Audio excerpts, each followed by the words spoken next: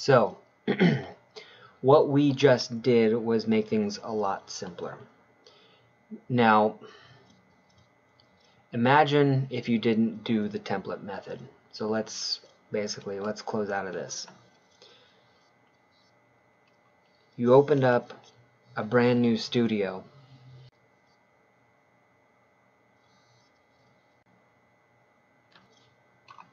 Here we go.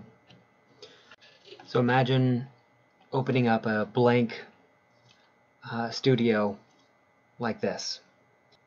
Now you'd have to do this every single time. It opens up blank. You have to switch the size over here. You got to make sure it's letter. Okay, you got to make sure you're importing over in the tools. You got to make sure that you're importing as is and not fit to page. You have to turn the grid on. You have to change the style so everything is, you know, as small as possible. Change the thickness and everything.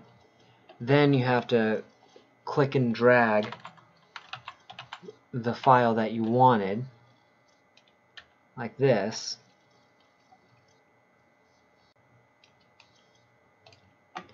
okay then you had to go into send see it's simple. You're gonna have to go in to the line mode. Look see the, the mountain mountain mountain? You actually you're gonna have to change all this. You, you gotta change this to, to cut.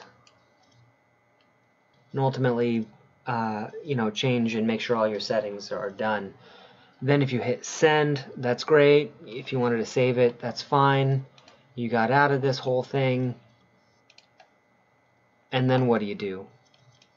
Hmm? if you open up the silhouette again like that it's it's gonna have the blank version again the 12 by 12 it's gonna take you you know a good five minutes to reset and redo all of the settings over and over and over again what we did is we saved ourselves some time by opening up and creating a template. And with a template it has all of our settings saved. So what we do is we open up the template has all of our settings and then we just click and drag the DXF files one by one and then we save them just like this.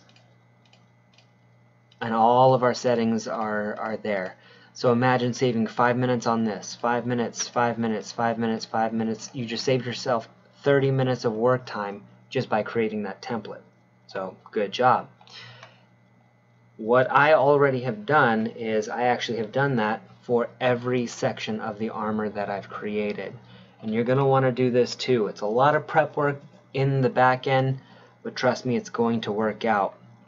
All of this prep work, what this means is when you're all saved and everything's ready to go, like I am, for me, I'm actually working on these shoulder pieces. So all I'm doing now is now that everything's set, ready to happen, I'm, all I do is I open up the file that I want. See, take a look at this. So when I'm ready to go, I just go to send. I already know all of my settings are taken care of uh, because of the, uh, the template that we used. So down here, I've got everything plugged in. Cameo 3, status is ready. I can click send, and it's going to send this page off. Uh, once it sends it to the cutter, uh, I'm just going to let it run its course. I'm going to take the paper off of the mat. Uh, I'm going to take the pieces off of the mat. I'm going to slap a new paper on there. Uh, and then I'm just going to I'm just going to open. I'm going to go down, I'm going to go down the line. I'm